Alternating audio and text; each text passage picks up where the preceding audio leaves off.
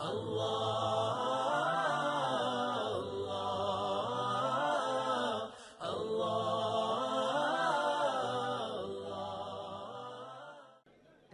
Doctor Zakir नायक साहब। मेरे शरीर का, मेरे जिस्म का दिया गया नाम डॉक्टर वर्मा है, और मैंने कुरान शरीफ भी पढ़ी है, बाइबिल भी पढ़ी है, और वेदवाद की थोड़ा सा अध्ययन किया है।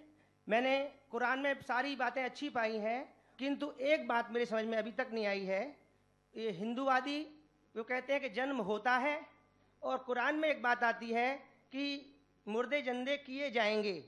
ये दो बात मेरी समझ में अभी तक नहीं आई है। हिंदू तक वह कहता है उन्हें देखा कि जन्मवाद, कि जन्म होता है। मैंने डिस्कवरी चैनल में भी ये चीज़ें देखी हैं। और दूसरा कि आखिर में, कुरान में कि मुर्दे जिंदे किए जाएँगे। मैंने इस बात को बहुत से पूछा है, किंतु मेरे का इस बात का क्लियरिफिकेशन कोई भी मज़हब एक तो जन्मवादी, दूसरा जो जन्म नहीं मानता, यानी मुर्दों को ज़िंदा करता है, समझा नहीं पाया। मैं आपसे प्रार्थना करता हूँ कि इस बात को कुरान के माध्यम से और आपके माध्यम से मैं समझने के लिए आपसे गुजारिश कर रहा हूँ। धन्यवाद। डॉक्टर साहब ने अच्छा सवाल पूछा है कि उसने कुरान मजीद पढ़ी और सब बात को तस्लीम करते, सिर्फ़ एक या दो बात, कि कुरान शरीफ के अंदर मौत आती है, मुर्दे को वापस से ज़िंदगी दी जाएँगी आखिरत में। उनका ज़िक्र है। और हिंदू लोग ये मानते हैं कि पुनर्जन्म में, और वो डिस्कवरी चैनल पे देखे कि पुनर्जन्म होता है। अगर आप देखेंगे, सबसे ऊँची किताब हिंदू मज़हब में वेद। अगर आप पढ़ेंगे, पुनर् की मानी क्या? पुनर संस्कृत में मतलब नेक्स्ट अगेन वापस से और एक। पुनर् के मानी नेक्स्ट तो पुनर्जन्म मतलब नेक्स्ट ज़िंदगी। और एक ज़िंदगी। अगर आप कुरान शरीफ पढ़ेंगे, कई आयते हैं कि अल्लाह सुबहाना व ताला ने आपको ज़िंदगी दी। पहले आप थे नहीं, फिर ज़िंदगी दी, इस धरती पे आए, फिर आपको मौत देंगे, फिर आखिरत में उठाया जाएगा। आप जो कर रहे मुर्दों को जान दी जाएँगे आखिरत में। ये हम मानते हैं कि एक बार हम इस धरती पे आते नेक्स्ट लाइफ इज़ आखिरत। उसी तरीके से वेद में भी ज़िक्र है अबाउट पुनर्जन्म नेक्स्ट लाइफ सेम हु बहु जिस तरीके से कुरान में लिखा हुआ है।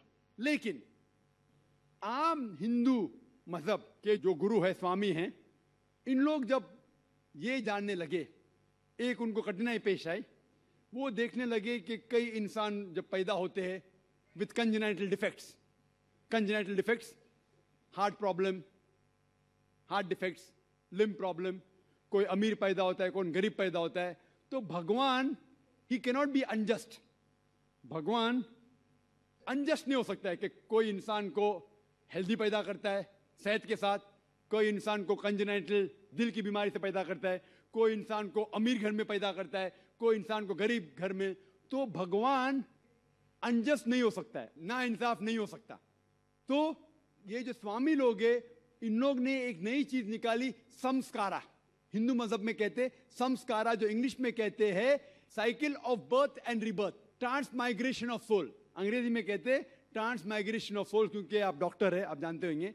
ट्रांस माइग्रेशन ऑफ़ सोल अंग्रेज़ी में कहते संस्कृत में कहते संस्कारा। Birth death birth death birth death कहीं भी वेद में नहीं लिखा हुआ है कि birth death birth death birth death कहीं भी वेद में नहीं लिखा है। चैलेंज है मेरा। ये इन लोग को मिलता है भगवत गीता के श्लोक से। भगवत गीता का श्लोक चैप्टर नंबर टू में। वर्स नंबर ट्वेंटी टू में उसमें लिखा हुआ है कि जब कोई शख्स अपने कपड़े निकालता है तो वो नए कपड़े पहन लेता है उसी तरीके से रूह रूह एक नई जिसम में जाती है और ये भद्यांकर उपनिषद में भी इसका ज़िक्र है अब पढ़ेंगे कि when a caterpillar when a caterpillar climbs up the grass of blade, he jumps to a new grass. Same way the soul takes a new body. जिस तरीके से कैटरपिलर घास के ऊपर चढ़ता है और दूसरे घास पे जाता है, उसी तरीके से रूह एक नई बॉडी के अंदर जाता है तो इस श्लोक के बुनियाद पर इन लोग ने एक फिलॉसफी पैदा की संस्कारा कि इंसान जो कर्म के बेस के ऊपर, कर्म और धर्म की फिलॉसफी कर्म मतलब अच्छे कर्म करोगे, धर्म के हिसाब से तो अगले जन्म में आप अच्छे पैदा होंगे। अगर आपके कर्म बुरे होंगे तो अगले जन्म में आप हो सकता है कि लूला पैदा होंगे या लंगड़ा पैदा होंगे। और जो कहते हैं कि आप इंसान सात बार बनेंगे। ये कौन कहता है? वेद नहीं कहती। ये स्वामी जी लोग कहते हैं। कोई वेद में कहीं लिखा नहीं है। क्योंकि उनको ये नहीं कह सकते थे कि इंसान क्यों गरीब पैदा होता है, क्यों अपाइश पैदा होता है? उनकी सोच कम थी, इसीलिए नई फिलोसफी लेके आए ट्रांस माइग्रेशन ऑफ़ सोल आप तो डॉक्टर है। मैं भी डॉक्टर हूँ। आपने कई मेडिकल साइंस बुक में पढ़ा हुआ है कि इंसान इस दुनिया में जन्म लेता है, जन्म लेता है? कभी नहीं। क्या फिजियोलॉजी में पढ़ा? क्या एनाटॉमी में पढ़ा? अगर ये साइंटिफिक फैक्ट होता था तो हम मेडिकल कॉलेज में पढ़ते थे कि इंसान नए नए जन्म लेता है। हम कभी भी नहीं पढ़े। इससे ये साबित होता है कि साइंस इसको तस्लीम ही नहीं करती। जो आप कह रहे डिस्कवरी चैनल में देखा, जो आप कह रहे हैं। अगर ये हक होता था तो हमारे साइंटिफिक बुक में भी ये लिखा होता। तो ये कहना कि साइंटिफिक प्रूफ है कि हम जन्म लेते हैं, बिल्कुल गलत है। इस्लाम जो इसका जवाब देता है, वो है कि इस्लाम तस्लीम करता है कि अल्लाह सुबहाना ताला कुछ लोग को अपाइश पैदा करता है, कुछ लोग को अच्छी सेहत देता है, कुछ को गरीब, कुछ को अमीर। इसकी वजह है कि अल्लाह ताला फरमाते हैं सुर मुल्क में सुना नंबर 67 आयत नंबर दो में, अल्लजी खलक अल मौत वाला हयाता अल्लाह सुबहान व ताला ने मौत और ज़िंदगी बनाई ताकि आप लोग को जाँच सके, आप लोग का इम्तिहान ले सके, आप लोगों में से कुछ लोग अच्छे हैं। ये जाँच पड़ताल करने के लिए ये ज़िंदगी हमारे लिए इम्तिहान है। और अल्लाह ताला फरमाते सूर्य अनफाल में सूरा नंबर आठ आयत नंबर अट्ठाईस में, कि आपके बच्चे और आपकी जायदाद आपके लिए फितना है। आपकी जायदाद और आपके बच्चे आपके लिए एक टेस्ट है, आपके लिए इम्तिहान है। अल्लाह ताला कुछ लोग को गरीब घर में पैदा करता है, कुछ लोग को अमीर। जो लोग अमीर है, उनके लिए इम्तिहान है कि वो जक़ात देते क्या नहीं। जैसा कि मैंने कहा मेरी तकरीर में, तीसरी बुनियादी बात इस्लाम में है जक़ात।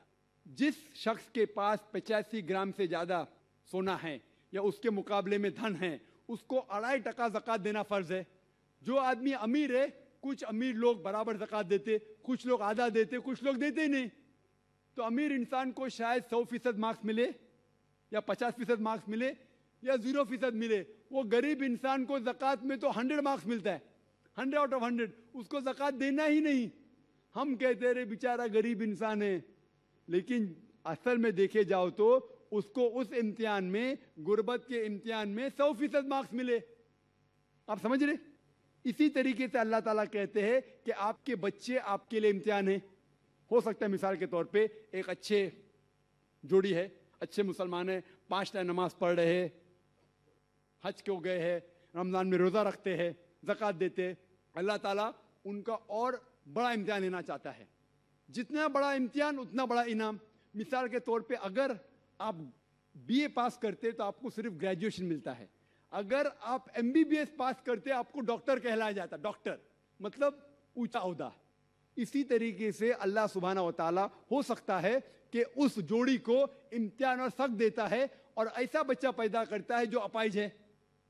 अल्लाह ये देखना चाहता है कि अपाइज बच्चा पैदा करने के बावजूद वो अल्लाह के ऊपर ईमान रखता है क्या नहीं। अगर ईमान रखता है तो अल्लाह उसे जन्नत फिरदौस देना चाहता है। और कठिन इम्तिहान, और बड़ा इनाम। हो सकता है कि वो इम्तिहान में फेल हो जाएगा। तो ये कुरान की आयत है, आपके बच्चे आपके लिए इम्तिहान है।